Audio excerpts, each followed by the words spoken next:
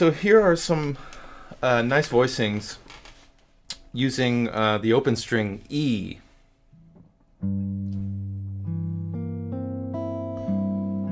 And then, uh, so here's C7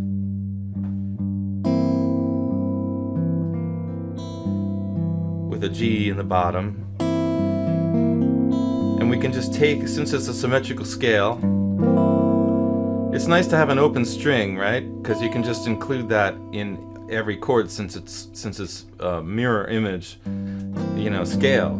So this is a C7 over G with the open E string, and then we move that up a minor third. We get E flat 7 with the E, which would make it E flat 7 flat 9.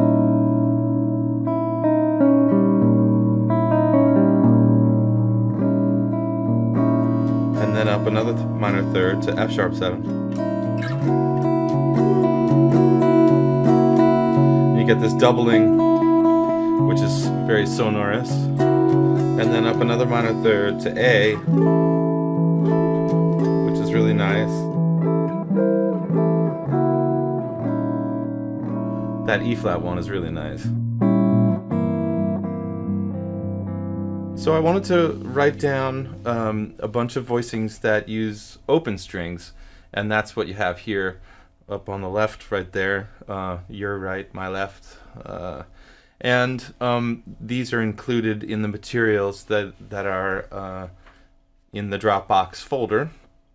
So first I just did a uh, 2516 in C major, and then I did 2516 in A flat major. So here you have uh, D minor. Then you have, I'm calling that G7 because a lot of times I don't put the root in my chords. I'll put the flat 9 in this case. So it, it looks like it's like an A flat it looks like it's kind of an A flat chord. But in my mind, I'm thinking that this is G7. That's the root, that's the flat 9. And then another variation of that.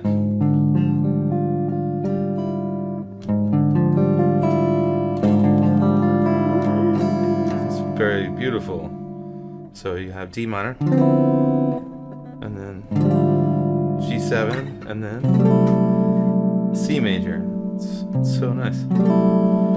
And then here's A7. And then D minor again. And then G7. And then C major. And A7. And D minor major, um, D half diminished. G7. That's kind of a funky one with the flat with the sharp 9 13 and then C major 7. I use my thumb a lot. Um, it's an extra finger. Might as well use it, right? Okay, now here's some in B flat, uh, well, in A flat major, some 251 and 6. So here you have the 2 5. Here you have the 2. B flat minor.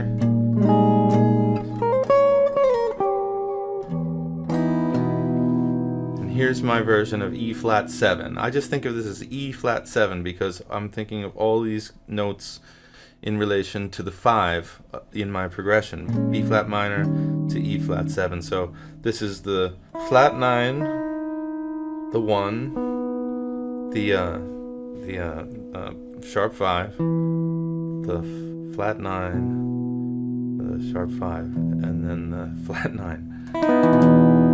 It's really it sounds, you know, like the the voicing itself is is pretty plain, right? It's just an E chord, but when you have it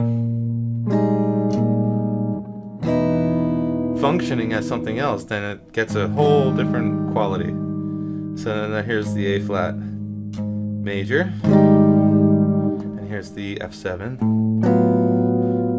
again, I have the third in the bass, and then these other. Here's the root, and here's the flat five and the flat nine. So it's really, it's really an F chord because really the progression we're doing is just that two five one six.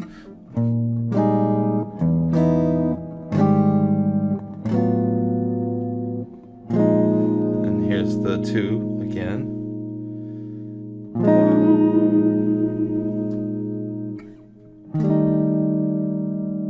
There's the five. One. F7.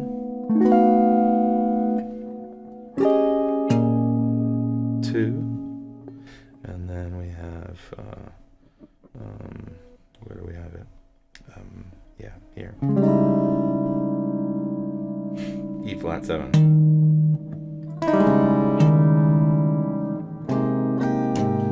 To A flat major.